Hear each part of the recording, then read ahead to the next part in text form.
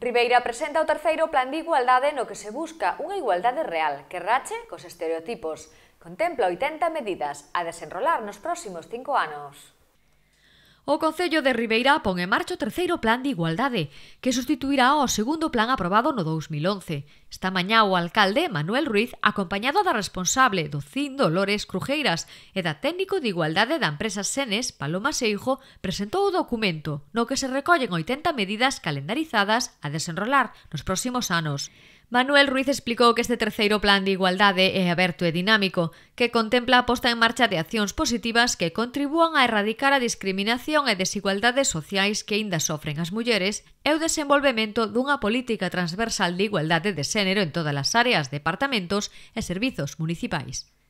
Eh, pretende pois que a igualdade sea real, é dicir, a existencia do mesmo número de oportunidades en unha sociedade igualitaria entre homes e, e mulleres, non? E moito deso consíguese pois rachando o que son os estereotipos que moitas veces ten gravada a propia sociedade, o que implica que moitas veces seamos os concellos, se non aplicamos este tipo de medidas que conteñen o plan, os que ao final estemos difundindo esos estereotipos, non? É por iso que eh, este plan pois eh, atingue a todas e cada unha pois eh, dos departamentos municipales que non só colaboraron, senón que tamén teñen uns obxectivos a cumplir cada un deles, e que, por certo, eh, nos anteriores plans foron evaluados externamente, como decía antes, eh, pero foron evaluados moi positivamente. Pero sí é verdad que se pode seguir mellorando e se pode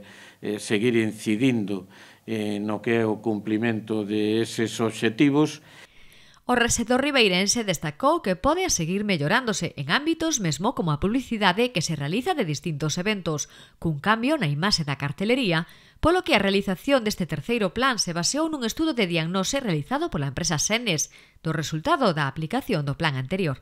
Segundo explicou Dolores Crujeiras, foi un proceso longo e participativo no que se implicou a toda a sociedade ribeirense que foi un proceso longo, levamos dous anos traballando con isto, porque, como decía o señor alcalde, foi un proceso participativo, eh, tiñamos claro que queríamos eh, traballar para, para Ribeira, para a sociedade de Ribeira, e para iso queríamos escoitar a voz de Ribeira eh, da ciudadanía, porque non é un plan para as mulleres, é un plan de igualdade de homens e mulleres, e, polo tanto, eh, queríamos... Eh, saber eh, mm, as entidades, os informantes clave para, para este plan, eh, o que pensaban, do que tiñamos feito e o que podíamos eh, mellorar. E, bueno, os resultados non, non están nada mal, pero evidentemente todavía hai moito que facer. O plan está estruturado en oito áreas estratégicas, cada unha ten un obxectivo. Ademais, contempla a creación da Comisión de Igualdade con presidencia na Alcaldía e que será quen recabe datos nos distintos departamentos municipais. Cada área estratégica ten un obxectivo estratégico e estes están desenvoltos por 21 obxectivos operativos e a, a este, para dar resultados a estes objetivos operativos, para dar resposta a estes objetivos operativos, eh, propóñense 80 medidas. Vale?